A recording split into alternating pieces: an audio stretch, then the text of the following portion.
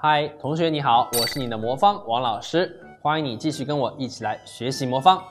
那么在之前的课程当中呢，我们已经学习了啊魔方的前两层的复原，对不对？如果你已经啊能够熟练的将前两层都复原的话呢，啊这一节课当中我们就来学习啊层先法的第四步，也就是我们的顶层十字还原了。什么是顶层十字呢？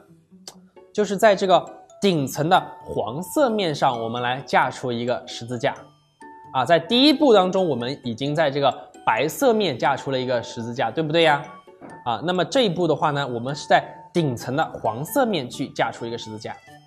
好，那么复原完两层之后呢，我们啊每一个同学都会遇到各种各样的图案。大家可以看到我们桌子上的三个魔方就有不同的啊各式各样的图案，对不对？这个图案呢，其实啊经过统计呢，一共会有五十七种图案。那么，哎，同学可能会想，有五十七种图案这么多，那我们怎么学习呀？啊，但是呢，大家不用担心啊，我们其实把这个情况归类之后呢，我们只要学习三种情况就可以了，也就是我这个桌面上的三种魔方的图案。好，那么我们来观察一下这三种图案怎样去记忆呢？它有什么区别呢？啊，因为呢，啊，我们先来看第一种啊，就是说我们是要看这个十字架，所以我们只需要观察它的棱块的位置。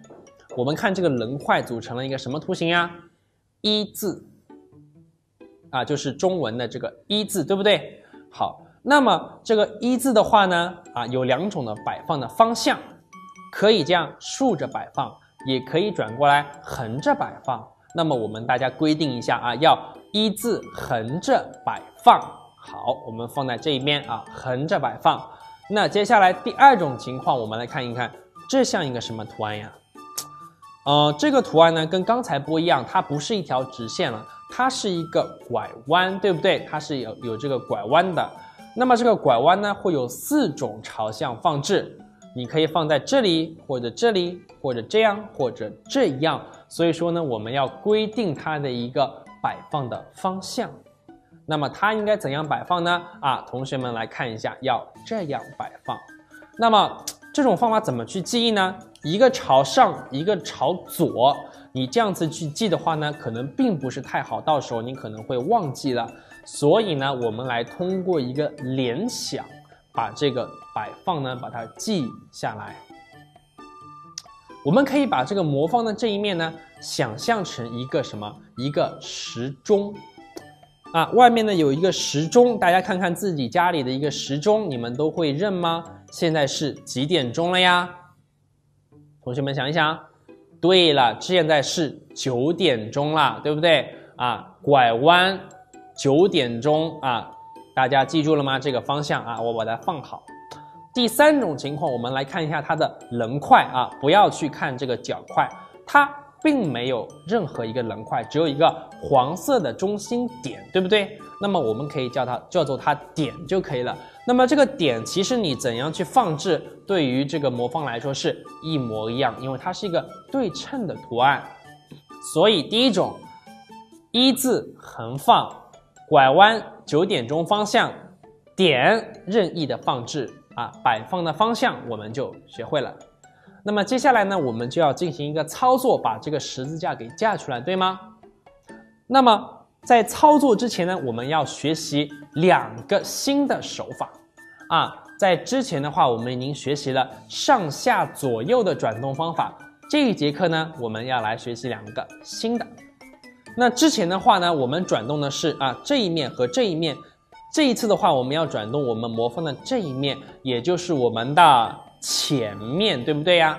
好，这个前面应该啊如何去转动呢？大家不知道知不知道这个顺时针和逆时针方向？啊，如果你不知道的话也没有关系啊，大家要可以来学习一下啊。我们如果前面这样子顺着转动的话呢，我们可以把它叫做前啊，前面这样子转动叫做前。前的这个手法怎么去转呢？大家看好了啊，右手大拇指在下，左手大拇指在前。其实这个手法呀，就跟我们之前嗯，在学习这个上的那个手法是一模一样的。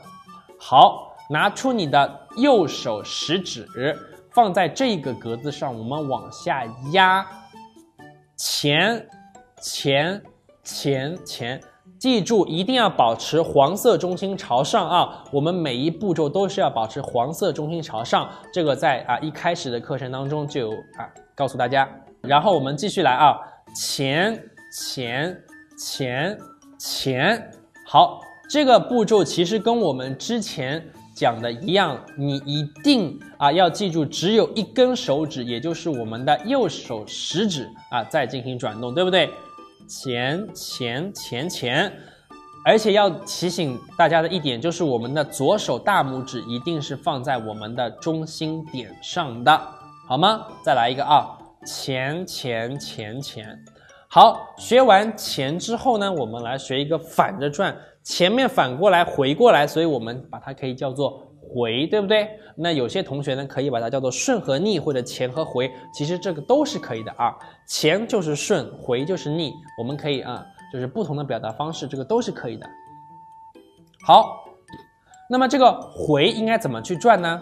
前是我们用右手食指去转，回的话呢，我们还是用右手的大拇指往上提。啊，大家来试一下啊，回，回，回。回回啊，回回回回，这个时候我们一定要注意，左手大拇指还是放在我们的这个中间的这个位置啊。好，右手开始回回回回，哎，是不是啊？就完成了呢？好，我们再来练习一遍前和回的这个手法啊，前前前前，前面回回回回啊。这个回的话呢，啊，我们一定要把魔方这样子啊握好，每个手指在它相应的位置，要不然我们魔方可能会哎这样子就错开了，就做不好了，对不对？前和回大家一定要啊记住啊，也可以呢把它叫做这个顺和逆，对不对呀？好啊，前回好。那么学完了这个前和回之后呢，我们怎样运用这个步骤来把这三种情况的十字架给还原呢？好，我们一种一种来解答。好，首先呢是第一种一字形横放，它的公式呢非常简单啊。我在这里要提醒大家，我们的三种情况，每一种情况的第一步都是前，最后一步都是回，这样子大家呢就不容易记错了。好，第一步是前，前面的前转一下，然后就要运用到我们上一节课学习过的一个。右手手法了，所以右手手法是不是非常重要呢？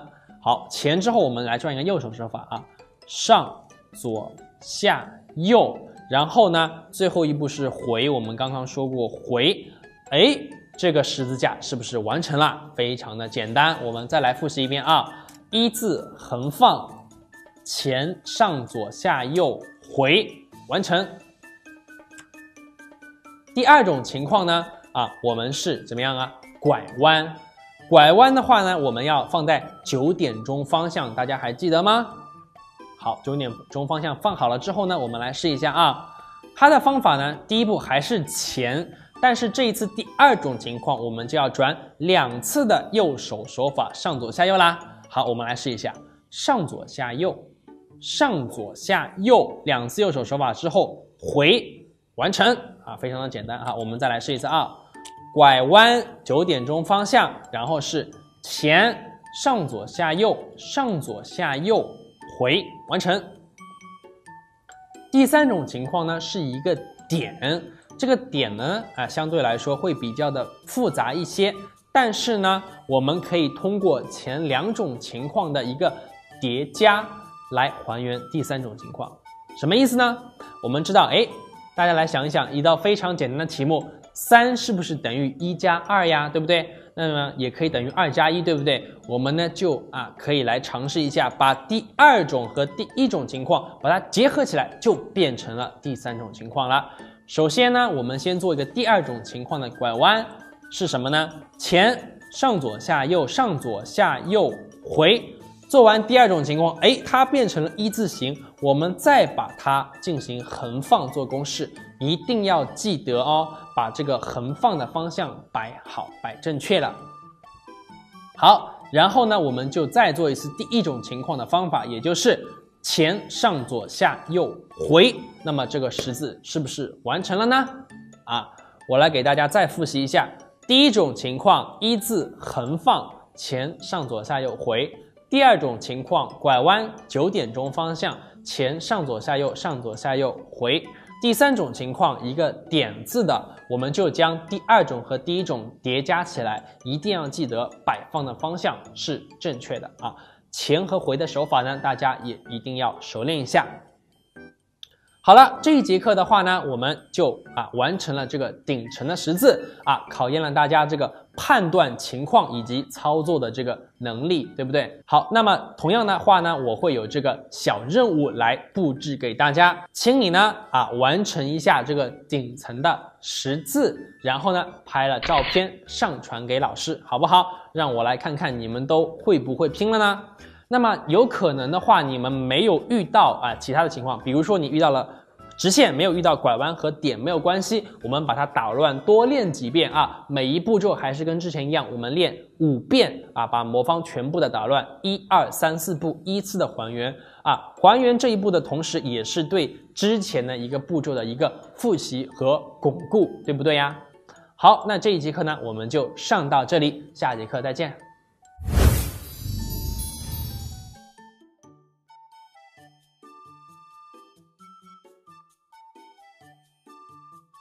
这一节课当中呢，我们将来学习第五步，也就是顶面的还原啊。